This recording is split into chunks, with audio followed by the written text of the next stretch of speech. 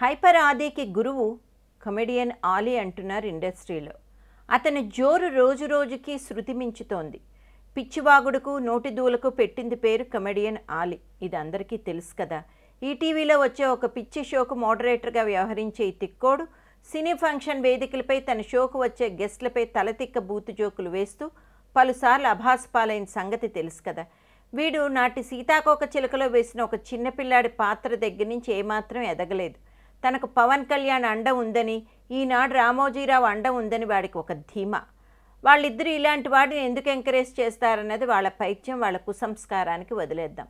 మన తెలుగు వాళ్ళు కామెడీకి అధిక ప్రాధాన్యత ఇస్తాము అని చెప్పడంలో సందేహం లేదు అనే చెప్పాలి. గురు శుక్రవారాలు వస్తే చాలు రాత్రి తొమ్మిది ముప్పై ఎప్పుడు అవుతుందా అని వేచి చూస్తూ ఉంటాం. మనం జబర్దస్త్ ప్రోగ్రామ్ని అంత బాగా చూస్తాం. ముఖ్యంగా హైపర్ ఆది స్కిట్స్కి అయితే ఫ్యాన్స్ అధికమే అని చెప్పచ్చు. దీనికి కారణం యూట్యూబ్లో వ్యూస్.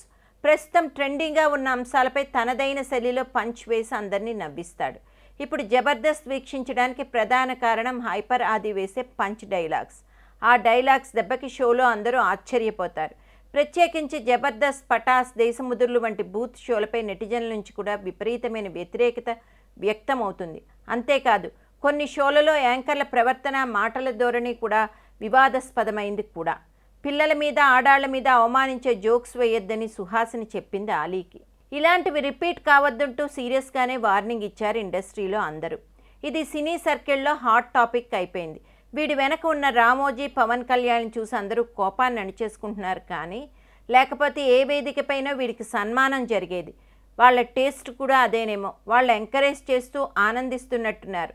ఈసారి సమంత మీద అప్పట్లో వేసినట్టు విజయవాడ బెంచ్ సర్కిల్ లాంటి నడుము అని కామెంట్ చేయి.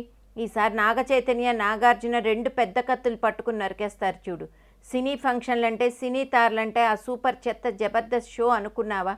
ఇది రేపు హైపర్ ఆదికి కూడా జరగవచ్చునేమో అంటున్నారు ఇండస్ట్రీలో.